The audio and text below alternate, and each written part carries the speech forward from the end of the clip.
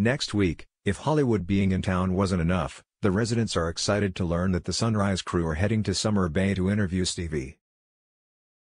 For UK folk who are none the wiser, Sunrise is the Seven Network's breakfast show that broadcasts across Australia every weekday morning, hosted by Natalie Barr and former Olympic sprinter Matt Sherva-Shirvington.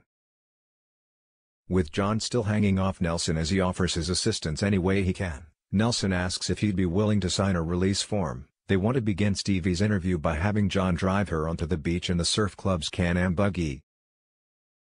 John is stunned, and Marilyn goes to ring Jett to tell him that his dad is going to be on national television.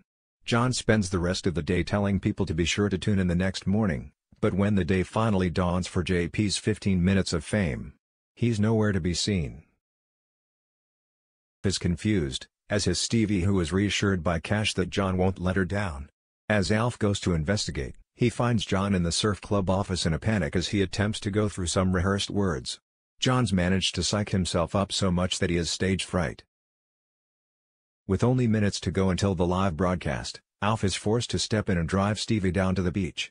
Stevie realizes that Alf must be wishing he was anywhere else right now as they await their cue but the two end up sharing a touching moment when they realize that they actually have a mutual interest in fishing. It's plain to see for Alf that Stevie has worked hard to where she's got today, and she's grateful for his kind words. Stevie's quick to introduce Alf to the viewers as her new fishing buddy, with Shirvo commenting that he is quite the fan.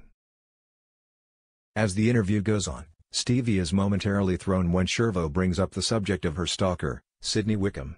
Sydney is currently on remand after attempting to attack Stevie during a fan meet and greet. Stevie admits that it was a tough time, but now that he's behind bars she can move on with her life. After the interview draws to a close, Alf is able to play chauffeur again to Shirvo as he asks for a lift back up to the club. Meanwhile, a saddened John sits alone in the office as he receives a text from Jett, who had organized a watch party with his mates, asking where he was. Poor old JP.